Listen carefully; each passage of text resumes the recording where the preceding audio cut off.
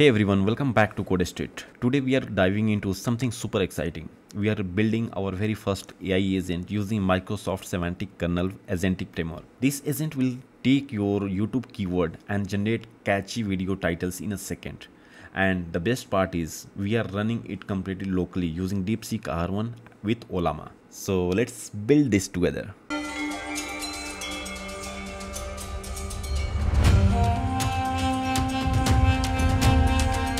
So the first thing is to download the Ollama. Okay so for that let's open here. You can just click on download and you can choose your operating system and download. So that's all. So basically Ollama help us to run the llm locally. Okay so whatever uh, open source models are there so those we can just we can come to the model section and we can download and uh, we are going to use the lighter version which is this one 1.5 billion parameter. Okay so let me just copy. It's installed. Let it be completed first. Okay. So you can install this. Okay. Okay it's got installed. And you can just check here uh, like so you can download the model from here also. Like we can find the model for uh, deepseek right?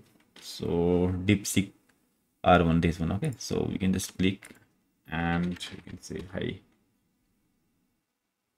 Yeah. Okay it's responding. So all good for us.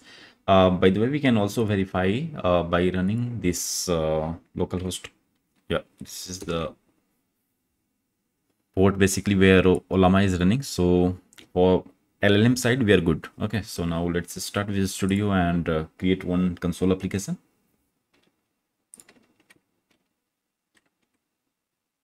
Okay, and let me just give a name as YT title agent. Okay, so all good here. So no need to do anything. Just create. Okay, now uh, we need to install some libraries uh, which is uh, like a semantic kernel agent framework okay and uh, Ollama connector basically. So these three uh, packages we need to install. So let's open NuGet package manager. And search for semantic kernel first. Okay this one. Apply install and next one is dot agents dot core. Okay. And the last one is the connector basically. So semantic kernel dot connectors dot ollama so basically uh, if you search uh, you will not see anything uh, from the semantic kernel. Okay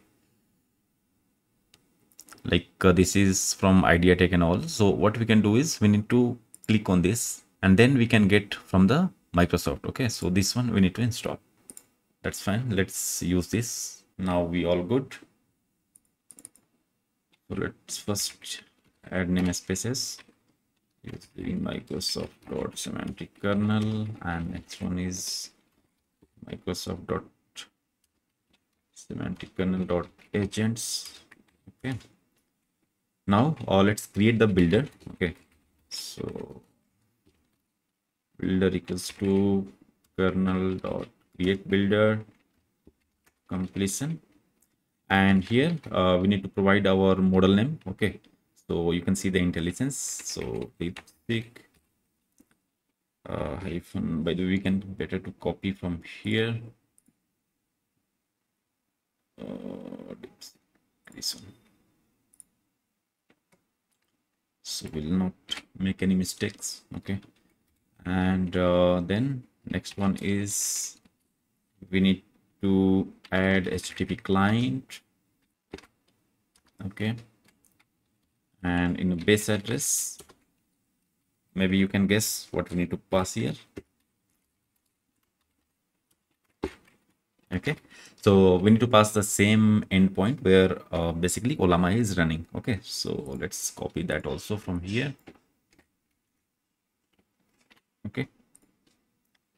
Then let's create the kernel and uh, okay that is that's fine. So now let's uh, add some console dot write line and welcome to the code a little bit promotion. So you will remember my channel name. Okay so that's fine. Uh ai youtube title generator. And by the way here we can just change the color of console and console dot write line so we need to take the input from the user for what uh, title basically he's looking for okay? Based on what keyword he wants to generate a title okay? So let's write another message here. Provide the keyword to generate title okay? And here string keyword equals to now. Uh we need to provide the instruction okay to the agent basically. So for that um, i have already copied so i'll just paste here. So instructions equals uh, let's put this. Okay. So you can see these these are the instructions okay for agent okay which is going to follow and uh, it's going to generate the titles for us. So let's continue so now basically we need to replace this part okay with the actual input which we have taken okay. So let's do that first. So instruction is to instruction dot place and here we can do the same. Let's copy. And here the variable where we kept the user input okay. So now let's create the our agent okay actual agent. So for that we are going to use chat completion agent. Agent okay. And here name of the agent. First we need to give okay. We can give as yt title agent okay. Next thing is instruction okay. So in the instructions let's add that instructions we have already okay and finally we need to pass the kernel which we have built above. Kernel. Okay that's all.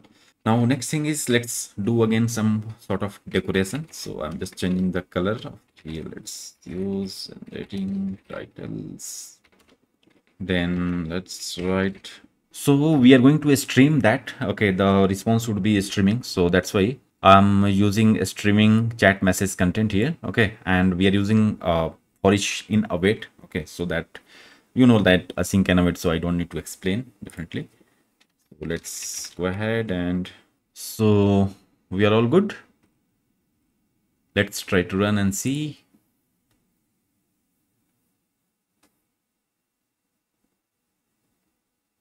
Okay all set. So let's provide some title here. So gaming in 2025 let's try to see oh. Okay so the problem is it's generating but it's not coming as a content. Okay so here one thing i need to do is so message dot content. Okay so inside content we'll yeah we will receive that. Let's try again. Okay gaming in 2025 oh so the problem is we are using console dot write line. So let's correct this and uh, use just console dot write. Uh, gaming in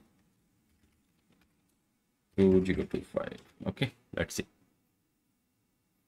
Oh perfect okay this is nice. Uh, but i mean i see this asterisk is coming as a response. You know like how uh, deepseek is generating the content. Basically it's a markdown format. So let's remove that. Just replace um, with okay now let's try once again. Gaming in 2025 let's see now ah now it's coming perfect. Okay so you can see. Let's try some different topic. Best ai tool to learn in 2025 let's see how it's generating.